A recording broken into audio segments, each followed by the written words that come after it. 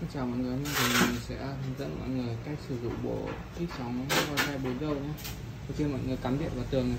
Trong đợi một lúc khoảng tầm từ 1 đến 2 phút nhé Thì cái tên wifi nó sẽ hiện là Repeater đây. Thì mọi người kích vào Bắt cái repeater đó.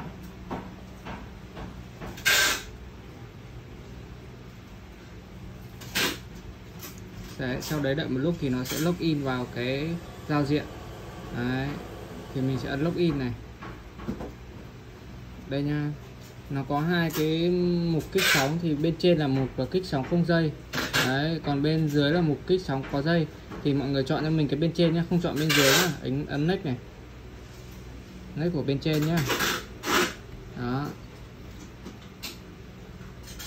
xong mọi người đợi một lúc nó sẽ quét những cái mạng tất cả những cái mạng xung quanh của mình để mình kích lên. Đây ví dụ nhà mình đây có cái mạng bằng wifi này ở gần nhất thì mình kích cái mạng này.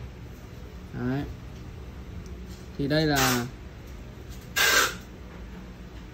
uh, nó yêu cầu là mình đặt uh, mình điệt cái mật khẩu của cái mạng mà mình muốn kích vào đây.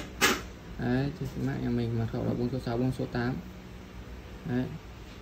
Cái phần bên dưới này là à, nó có yêu cầu là mình có thể mình đổi tên đổi tên của cái mạng wifi mà mà mà của cái cục này này. Đấy đổi tên wifi. Thì mình có thể đổi tên wifi bất kỳ tùy theo ý của mọi người thôi. Đấy. đây. Bên trên này là mật khẩu của cục wifi cũ nha cái cục wifi mà mình muốn kích nha. Đấy, còn đây là tên wifi của cục mới này xong ấn next này. Đấy. nó hiện này. Hai cục này tên và mật khẩu như này xong mình ấn finish này. Đấy, xong nó ghi đây là đợi khoảng 30 giây là mình kết nối lại là được.